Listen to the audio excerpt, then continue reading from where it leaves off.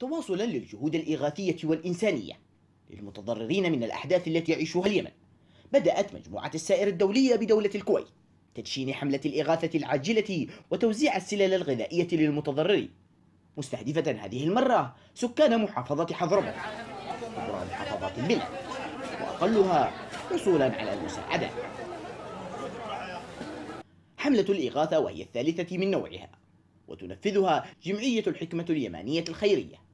تستهدف هذه المرة نحو أربعة آلاف أسرة ممن تقطعت بهم السبل وأجبرتهم الأحداث على أن يكونوا ضمن قائمة طويلة تضم أكثر من 21 مليون يمني بحاجة إلى المساعدات الغذائية وفقا لتقارير الأمم المتحدة.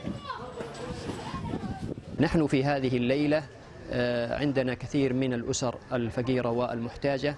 التي آه، جاءت لتستلم هذه العطية وهذه الهدية لتخفف عنهم من معاناتهم في ظل الظروف الراهنة التي تشهدها اليمن. نحن ظروفنا صعبة.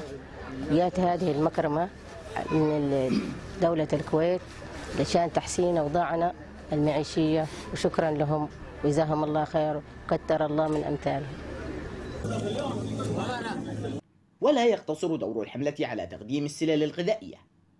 وبعض المساعدات النقدية للمتضررين بل أيضا في إقامة مخيمات طبية وتوزيع الأدوية للمرضى الفقراء الذين يعانون من أمراض مزمنة كالسكر والضغط وأمراض القلب بالإضافة إلى تنفيذ حملات رش ضبابي في المناطق التي يشتبه بتواجد بؤرا لمرضى فيروس حمى الضنك الذي تسبب خلال الأشهر الماضية إلى إصابة الآلاف من سكان المحافظة وحصد أرواح العشرات منهم.